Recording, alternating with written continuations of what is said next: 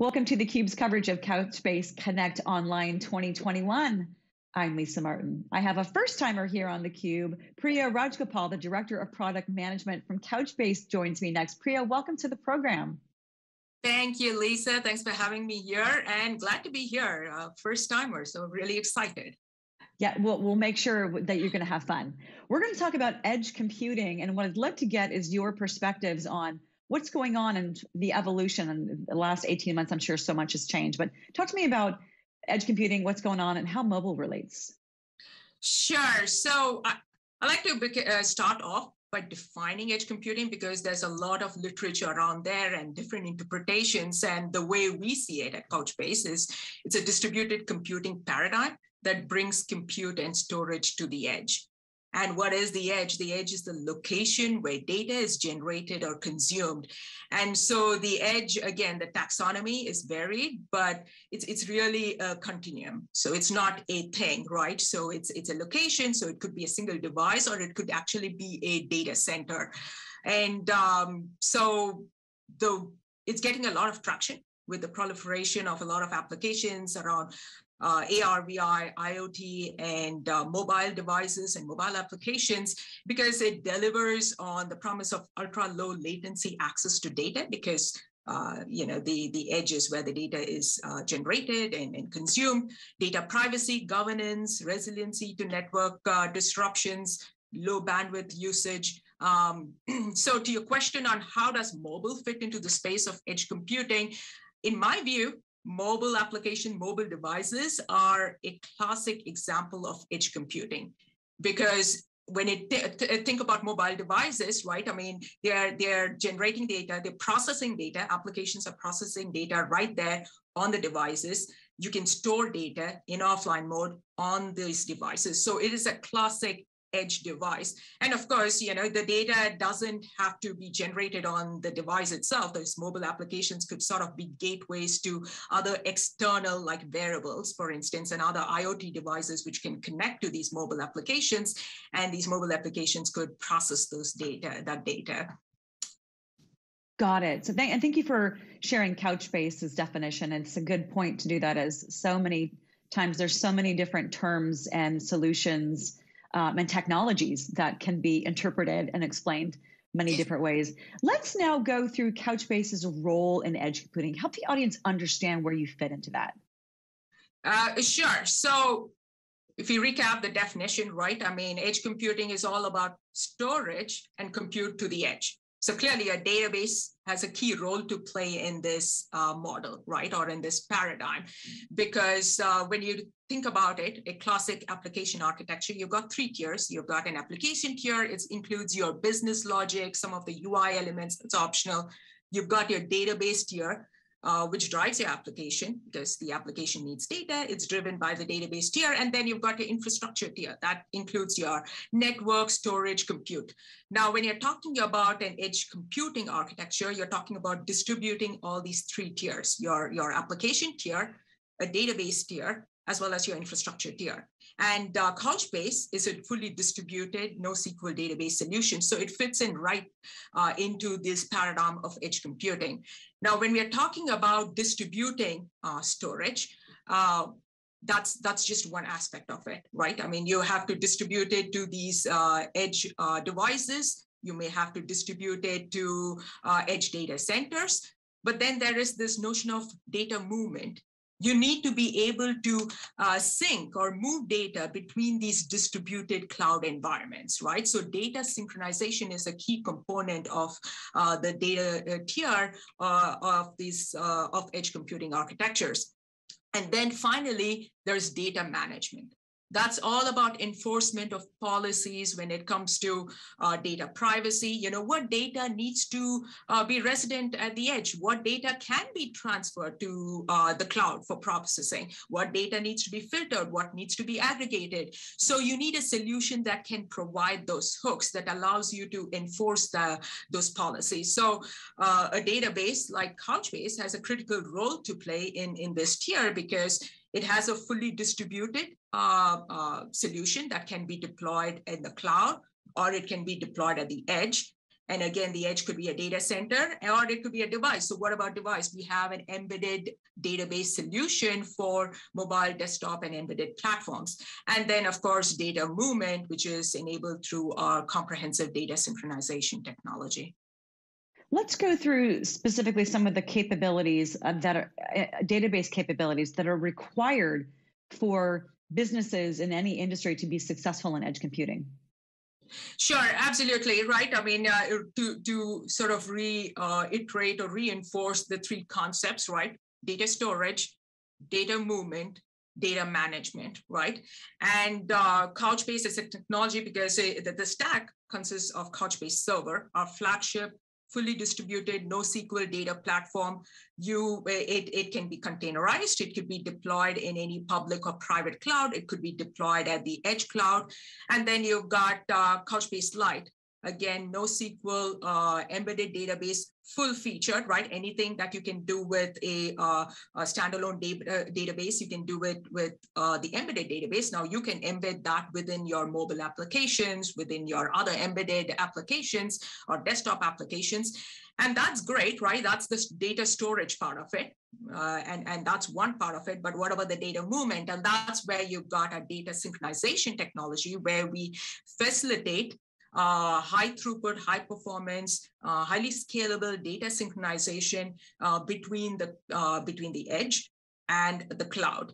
And of course, um, as, as I mentioned, data management is a critical aspect of all this, right? And, and so the synchronization technology has got uh, components that allow you to set filters, access control policies, uh, and there's a lot of hooks when it comes to data governance. So for instance, uh, uh if uh, an edge goes out of commission or if it is, uh, if there's a security breach, for instance, you want to isolate the edge, you can do that. The data that was previously synchronized to that edge you want to be able to uh, purge that data. So we have options that automatically purge the data if uh, the device uh, is no longer uh, in the hands of the right uh, recipient, for instance. So uh, those from a user standpoint, those are the critical aspects. Of course, you know, the overarching theme is security, right? And, and that goes hand in hand with encryption of the data at rest, encryption of the data in motion, then authentication, authorization, access control.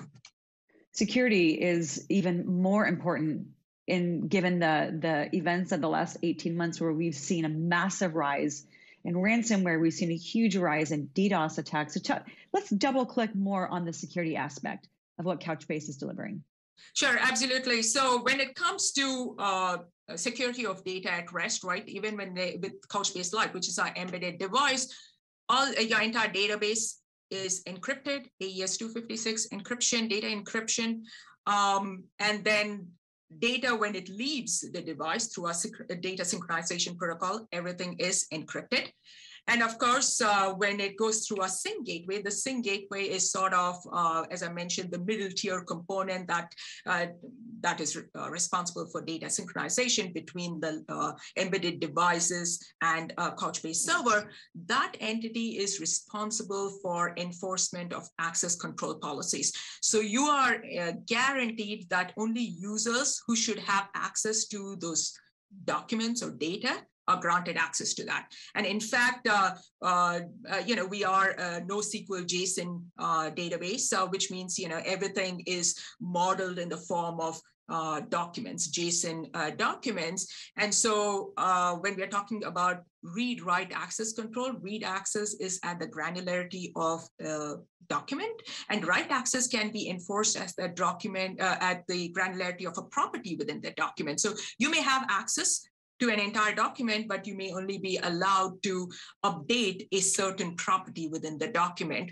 So uh, as I mentioned, when it comes to distributed computing uh, uh, architectures like edge computing, uh, security is even more paramount, right? I mean, you have devices going offline, coming back online uh, and and you might have a breach point at one uh, edge uh, environment whether it is a data center or an edge device you need to be able to ensure that you have isolated all the edge, uh, other edge components from that breach. And uh, as I mentioned, when it comes to data governance and so on, and re data retention, for instance, even if it is not a security breach, let's say you do have, for some reason, the owner of a device should no longer have access to that content, you know, their role has changed, they have transitioned to a different uh, company, for instance, then you will have a way of uh, automatically purging all that data that was previously synchronized to the user's device.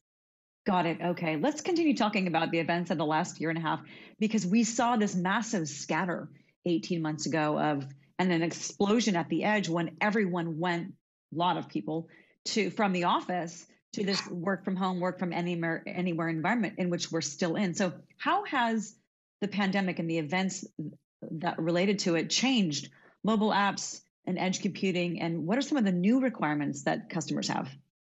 Sure. Well, as, as you rightly said, right? In fact, if anything, the relevance of mobile devices and applications has just grown in significance through the pandemic. And it's kind of interesting, uh, you know, there are some surveys that have suggested that through the pandemic, people have been using their mobile devices as their primary communication device for accessing the internet. And it's kind of interesting because you think, well, everyone is cooped up in their homes. They'll, they probably will have access to other forms of uh, data consumption, but no, it's, it's mobile devices. That's what they've primarily been using. So with that, there's also a new range of use cases and applications, which are driven uh, in large part by the events of the pandemic. But I think that's just made things much more more efficient. Customer satisfaction user experience is is paramount is number one. And i think a lot of that is here to stay even following or post pandemic because it's just made things a lot more efficient. And and we've seen that through different industries right? Healthcare i mean there was always telemedicine but now for non-essential care, it's always telemedicine. Yeah, of course, uh, specific to the pandemic, there was the um, uh, the the tracking, you know, the contact tracing application, right? I mean, and that's enabled through technologies like Bluetooth and GPS, so they track the whereabouts of infected uh, persons. Uh, but then, even if you arrive at your doctor's office, right, you wait in your car and you get notified when the doctor is uh, ready to uh, check you in. Um, then, in the retail sector, e-commerce, right? Of course, everything was moving online, but everything is overwhelmingly mobile first. People are shopping online through their mobile devices than the uh, traditional web-based applications. And uh, you order on your phone, you pick up at the store, right? So curbside pickup, you uh, pull into the store, the store clerk is notified of your arrival. They come out to the curb with your order. And here's the interesting bit, you know, it's, it's kind of uh, intuitive that it's going to be e-commerce applications. They got a huge boost uh, through the pandemic. But interestingly, even the experience when it comes to retail in-store, that's undergone a transformation because it was all about how do we make the process very efficient so customers are in and out of the store really quick, right? I mean, there was a reason for that, but now we can translate to making the whole shopping experience much more easy. So you walk into the store, you meet a, sales associate who can bring up information about the catalog inventory right there on the ipad. And so if you have any questions whether something is available in the store or uh, an accessory you're looking for they can give answers to you immediately right? And and of course there uh, there are uh, companies like walmart they they have been rolling out applications mobile scan and go sort of applications which is all about you know you scan items as you walk through the aisle uh, do a self checkout, totally contactless experience. And, and you know, you, the list goes on, right? We talked about healthcare, retail, same thing in, in a restaurant, right? A, a, a curbside, you know, de- delivery and pickup. You can now track your delivery order uh, because now it's just a huge surge in in order uh, deliveries. And then the same pickup concept, curbside pickup concept. You arrive in your car, the kitchen is notified of your arrival uh, and they come out with your order. Very streamlined, drive through. You've got people now coming to your car, taking the order right there from the car on their tablets. That's synced in real time to the backend kitchen, uh, your order, and you get notified when your order is ready. So I think all this is about making things a lot more efficient. It's about customer experience and edge computing has a big role to play in, in, in that. And so I think it's uh, uh, if anything, it's just propelled the growth of mobile applications and use cases. Yeah, that that propulsion is something that we've been hearing a lot about the acceleration in the last year and a half. You did a great job there of, of painting a picture of some of the positives that have come out of this, accelerating the efficiencies that we all as consumers and in our business life expect to have. And this explosion at the edge that's really become even more of a lifeline for mi- millions and millions and billions of people globally. I got to ask you though, from a connectivity perspective, that's another area where we we have this expectation as again consumers or in our business lives that we have connectivity. Where does all the talk about 5G? Where does 5G fit into edge computing? Sure, that's that's a that's a good question because uh, 5G and edge computing sort of go hand in hand. So much so that they have been used synonymously in some cases, and that's inaccurate. Okay, so uh, because every time people talk about uh, edge computing, there are folks talking about 5G in the same breath, right? But really, 5G, as we all know, is a uh, cellular, uh, next generation cellular technology promises ultra low latency, very high bandwidth. Now, we talked about uh, this huge surge, right, in mobile applications and new sort of use cases where a lot of the data is generated at the edge, IoT applications, or just data intensive applications, right, uh, um, gaming apps and so on. And all of these applications, they demand ultra low latency, right? And they're generating a lot of this data, and all that data needs to be processed in real time. So if you have to send all that data back to the cloud and then you get the responses, that's a really bad experience. So that's what 5G is here to solve, right? I mean, it's like low latency, high bandwidth, high concurrency. Now that's all great. But then the coverage of 5G it terminates at the edge of the mobile operator network. So you have all these massive influx of devices generating all that data and all that stuff is, is transmitted uh, uh, a, uh, under very low latency conditions over a 5G network.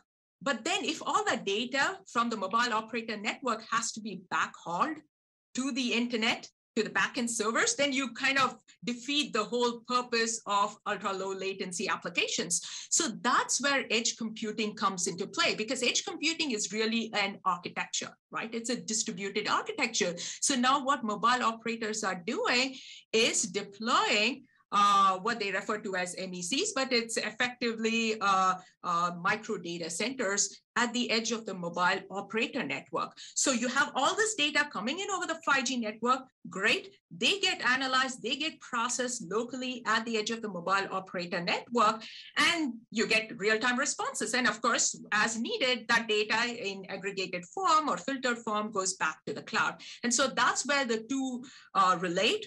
So in my view, I think edge computing architectures are important to deliver on the promise of uh, 5G, but 5G uh, has propelled uh, the relevance or uh, importance of uh, edge computing as a solution, as a deployment architecture. So very interrelated. Very interrelated, very symbiotic. And of course, mm-hmm. the need for real-time data, real-time a- analytics in every industry became very prominent in the last year and a half. We have this expectation that that we're going to be able to understand things in real time, and that's often a huge differentiator for businesses. We're out of time, but I want to ask you one more question, Priya, and that is where can customers go to get started with Couchbase? Oh, absolutely. So uh, Couchbase Server, Sync Gateway, you can deploy that. Uh, uh, it's available as software. You can download it from our website. Uh, Couchbase Lite is uh, available for all your uh, mobile application. So it is available as a download, but you also have the classic uh, package management systems through which you can download Couchbase Lite. And then, of course, as I said, uh, you can deploy this standalone, but you can also deploy it in the cloud. So we have marketplace offerings for both Couchbase Server and Sync Gateway. So if you want to deploy it on AWS, uh, Azure, Google, you can do that as well. Excellent. Priya, thank you so much for joining me on the program talking about Couchbase, the evolution, challenge, the changes, the opportunities with edge computing and mobile, and how Couchbase is involved. I appreciate your time. Thank you very much, and thanks for having me. For Priya Rajagopal, I'm Lisa Martin. You're watching theCUBE's coverage of Couchbase Connect Online 2021.